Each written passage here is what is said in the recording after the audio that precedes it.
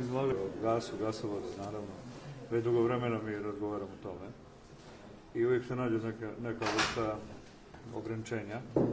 Vezano je ranije bilo za pandemiju, prije toga za nehtjenje sarajevskih institucija da daju saglasnost oko prelaska preko Drine e, granične linije. Sada smo ponovo rehabilitovali taj projekat, znamo što treba da uradi. Republika Srpska je usvojila mapu puta, a potrebno je da i Srbija nakon formiranja vjerovatno vlade sada uđe u to i da ovaj krak koji ide od gasovoda koji ide centralnom Srbijom do, do, do Rače i da nakon toga e, obezbedimo dozvolu naravno za prolazak e, tog gasovoda preko granične linije.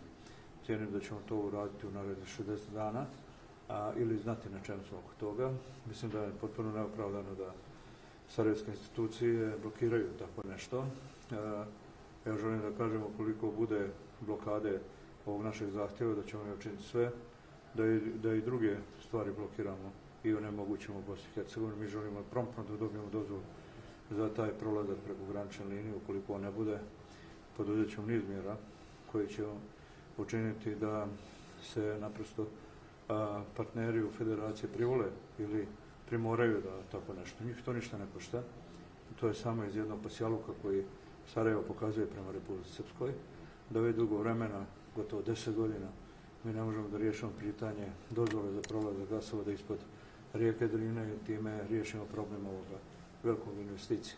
Sve ostali elementi su usaglašeni, tamo je napravljena studija potrošnje, tamo se vidi da opravdano gradi taj gasovod, a ruski partner će obezbediti finansiranje i ono što je samo neophodno jeste to mapa puta da se usvoji potpišu u Srbiji za ovaj krak koji ide prema nama i da dobijemo tu dozvolu za prelazak preko ispod suštini Drine i da u tom pogledu riješimo to pitanje.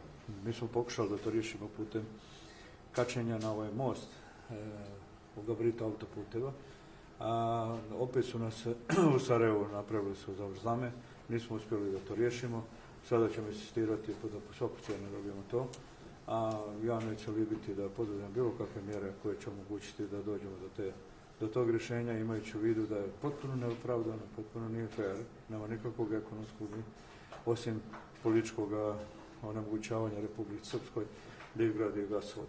Onda se dovodi pitanje zašto sve ovo radimo, na čem je problem. Zašto mi ne možemo da imamo isto ko što mogu drugi da imaju.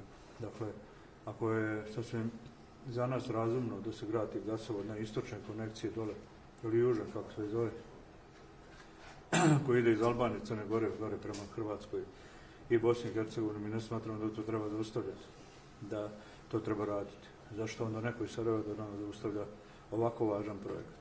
Dakle, sješću se saradnice, se vratim i vidjet ću šta nam stoji na raspolaganju da poduzmemo te važne mjere. Je li bilo govora o cijenama gasa?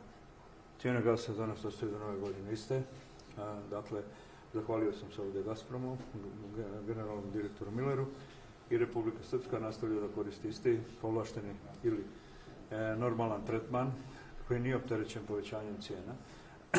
On naravno je u nekoj maloj e, kriznoj varijanti, ali to je ono što Srbija ima plus tranzit iz Srbije do, do nas.